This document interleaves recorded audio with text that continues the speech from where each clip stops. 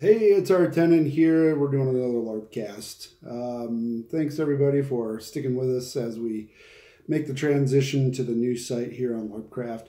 Uh, there's a lot of cool things we got going on, and um, what we're trying to do is offer our site to any player or group who wants who needs it. Basically, we have a huge resource library that we're building here. Um, We'll all of our hundreds of product reviews and LARP reviews and such um, in a uh, in a way that you can find things as a resource. Um, the uh, groups will be able to make their own pages uh, and promote their own LARPs. Uh, players will be able to host their own factions and um, in character groups uh, to help them promote uh, there's just a lot of things that we're that we're working on. We'll have our role play forums. Uh, we're, we're working on putting that together. Um, I'm working on the final design right now for that site, and um, the profiles are free and everything. So uh, it won't, unlike the last LARPcraft site that had tracking on it for myths and legends.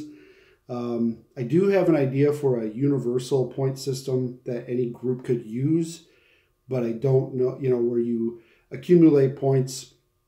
There's ways to uh, very easily uh, do mass assignments of points and badges and such uh, with our current system, but the um, you would you would use those points to then buy skills if you needed to for specific game systems, and then each game system could have its own little market to uh, to do that. So that's a possibility. Uh, it's really not a um, something we're going to concentrate on right now, but that the site does have the, that ability.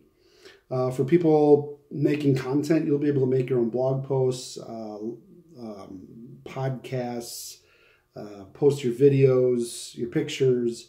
Uh, for uh, professional content creators, you'll be able to put in your AdSense um, stuff, so your marketing uh, dollars will go to you.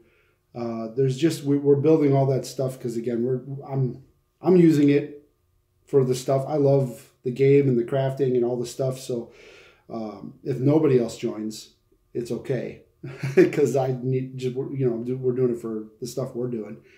But um, you're definitely welcome to use it.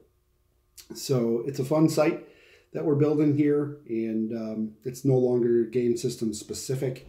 It's just a love of the uh, the live action role play, the crafting, the community, and the camaraderie that comes with uh, with playing this stuff. So um, make a free profile, and um, we'll see you in the games.